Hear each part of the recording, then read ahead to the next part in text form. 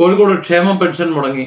ഭക്ഷണം കഴിക്കാൻ നിവൃത്തിയില്ലാതെ ജീവിക്കാൻ നിവൃത്തിയില്ലാതെ മരുന്ന് വാങ്ങാൻ നിവൃത്തിയില്ലാതെ ഒരു വയോവൃദ്ധൻ ആത്മഹത്യ ചെയ്തു.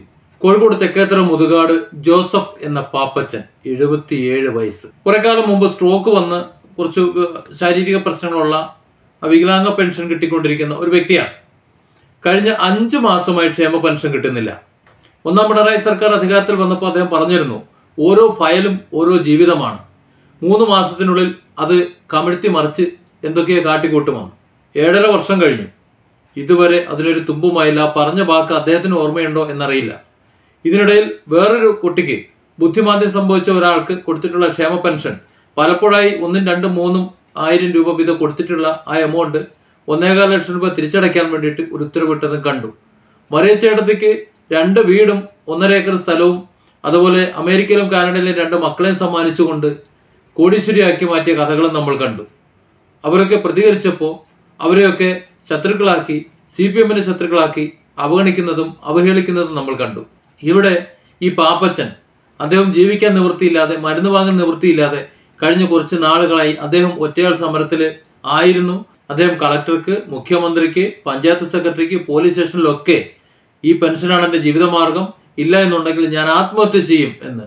അതായത് നവംബറിൽ കഴിഞ്ഞ നവംബറിൽ അദ്ദേഹം ആത്മഹത്യ ചെയ്യും എന്ന് വളരെ വ്യക്തമായി കത്ത് കൊടുത്തിരുന്നു. ജീവിക്കാൻ വേറൊരു മാർഗമില്ല മറ്റൊരു മാർഗവും ഇല്ല എന്ന്. ഈ നവകേരള ഇഷ്ടം പോലെ പണമുണ്ട്. കോടികളുടെ ബസ്സിന് പണമുണ്ട്. ഒന്നര അടി കയറാൻ ലിഫ്റ്റിന് പണമുണ്ട്. അതുപോലെ ഒന്നാമത്തെ നിലയിലേക്ക് കയറാൻ ലിഫ്റ്റ് ഉണ്ടാക്കാൻ പണമുണ്ട്. നീന്തൽ കുളത്തിന് പണമുണ്ട്. ഗോശാല ഉണ്ടാക്കാൻ വേണ്ടി പണമുണ്ട്. ഇപ്പോ കിയർ കാർ മാറ്റി കാരവനാക്കാൻ പോകുന്നു. അതിനും പണമുണ്ട്. ഇനി ഹെലികോപ്റ്റർ വാടകയ്ക്ക് എടുക്കാൻ പണമുണ്ട്. ലോകമെമ്പാടും കുടുംബസമേതം കറങ്ങാൻ പണമുണ്ട്. പക്ഷെ ഇവിടെ പാവങ്ങൾക്ക് സാധുക്കൾക്ക് ഉപജീവനത്തിനുള്ള ക്ഷേമ പെൻഷൻ കൊടുക്കാൻ മാത്രം പണമില്ല. ഭാര്യ നേരത്തെ മരിച്ച പാപ്പച്ചനൊരു മകളുണ്ട്. വികലാംഗയായ ഒരു മകൾ. പട്ടിണി കിടത്താൻ നിവൃത്തിയില്ലാത്തതുകൊണ്ട് അവരുടെ കാര്യങ്ങൾ നോക്കി നടത്താൻ കഴിയാത്തതുകൊണ്ട് ഒരു ചാരിറ്റി ഹോമിലേക്ക് അവരെ മാറ്റി. ഇദ്ദേഹത്തിന്റെ ഏക ആശ്രയം ഏക വരുമാനം ഈ ക്ഷേമ പെൻഷൻ മാത്രമാണ്. ഇന്ന് രാവിലെയും അദ്ദേഹം ടൗണിലേക്ക് ഇറങ്ങിയിരുന്നു. എന്തോ ആവശ്യത്തിന് ആരോടോ പണം കടം ചോദിച്ചു കിട്ടിയില്ല.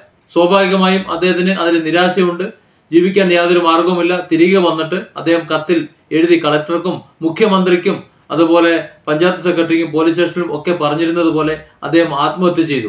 അല്ല അദ്ദേഹം രക്തസാക്ഷിയായി.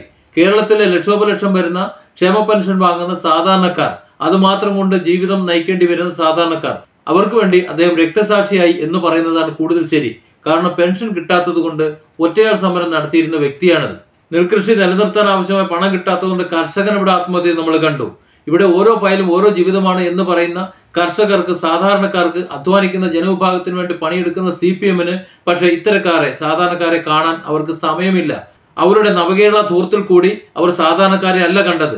അവർ കാസർഗോഡ് മുതൽ മഞ്ചേശ്വരം മുതൽ തിരുവനന്തപുരം വരെ അവർ സഞ്ചരിച്ചവർ കണ്ടത് പൗരപ്രമുഖരെയാണ് സാധാരണക്കാരെ അല്ല.